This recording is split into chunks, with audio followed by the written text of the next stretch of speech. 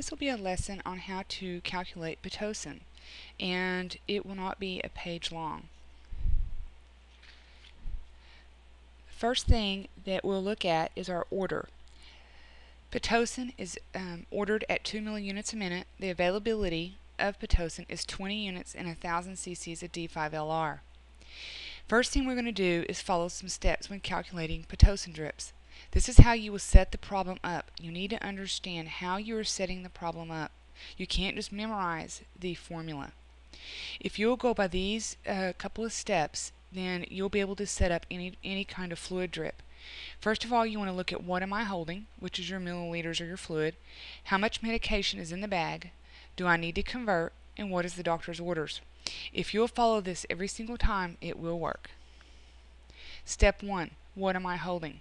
You're holding a thousand cc's or a thousand mils. So write down a thousand mils and draw a line underneath it. Step 2. How much medication is in the bag? It's 20 units of Pitocin. So put down 20 units underneath that. Step 3. Do I need to convert? Yes, because the order is 2 milliunits and you have 20 units. Instead of moving decimals, just use a 1 over 1000. So far, we have a 1,000 mils with 20 units. We need to convert because our order is going to be in milliunits. So just put 1 over 1,000 and you're going to times that out. By placing 1 over 1000 here, you will not have to move decimals, which is the most common mistakes made on math problems.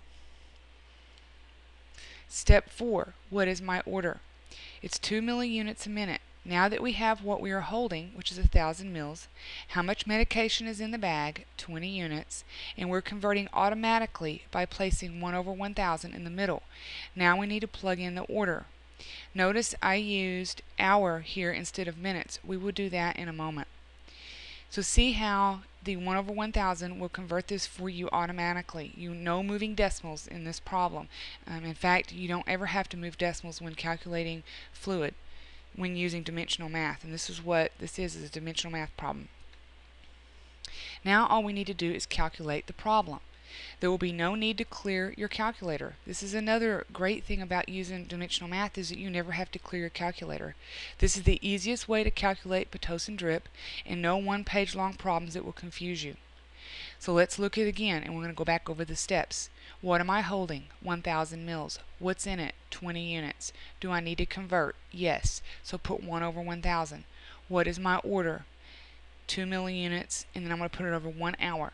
Okay, we're, even though we're going to give this in minutes, I'll show you how to do that in just a second. So we're going to have 2,000. Uh, that equals 1,000 times 1 times 2 will equal 2,000. Then we're going to say 20 units times 1,000 times 1 hour equals 20,000. So once you have that, you just say 2,000 divided by 20,000. This will equal 0.1. There's only one more thing left to do, and do not clear your calculator.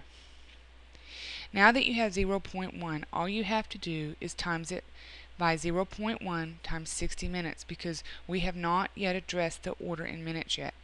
So 0.1 times 60 equals 6 mils an hour. So see how easy this was? Now let's do another one using the steps I showed you.